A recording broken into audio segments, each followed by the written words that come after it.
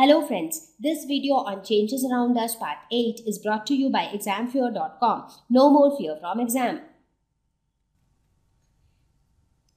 Melting of ice cream. So if you take ice cream which is supposedly very cold and it is kept in refrigerator. Now if you take it outside and keep it at normal room temperature for some time or you keep it under the sun, what happens? It starts to melt so basically earlier it was like in the solid form and then it starts when it starts melting it get it starts getting converted to liquid form so this is definitely a change but this is a reversible change so when you put it when it exposed to high temperature that time it starts melting but again if you cool it then it will again get back to its solid form so that way it is a reversible change Now let us look at something more interesting. So have you ever observed uh, the wheel? How does the wheel look like? So if you carefully observe the wheel, you will see that there is a metal rim on the wheel. So this is the metal rim. And the surprising fact is that the size of this metal rim is slightly smaller than the size of the wheel. So the wheel is bigger in size and this metal rim is smaller in size. Then the question is how does this metal rim fit into the wheel? So here we do something interesting. Now what we do is we heat this rim.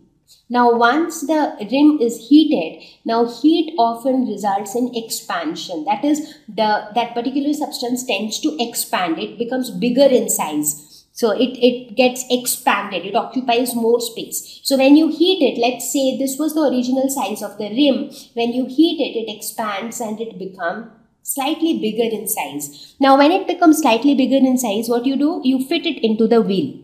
But now it is slightly loose on the wheel. So what you do? Now you cool it.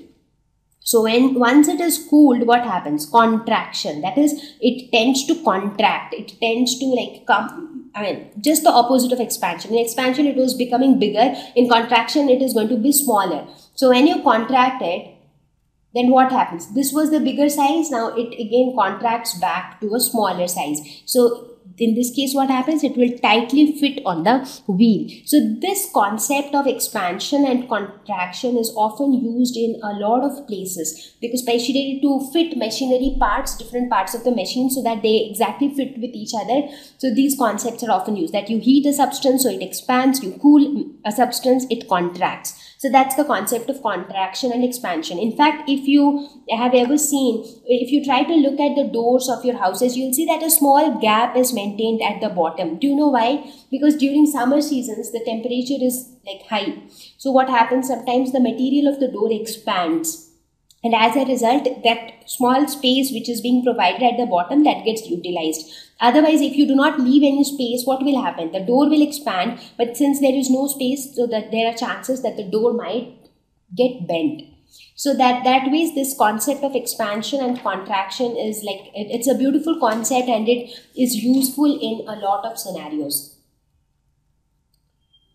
now, based on all these examples which we have discussed so far, what did we conclude? What causes change? Now, change can be caused by multiple factors. It can be caused by heating. When you heat a substance, the substance expands. That is a change. When you heat a substance, sometimes uh, liquid water gets converted to water vapor. That is again a change mixing with other substance. When you mix salt with water you get a salt solution which is again a new uh, which is again a change. So here mixing of substances resulted in change. Cooling. For example uh, you take some water put it into the freezer.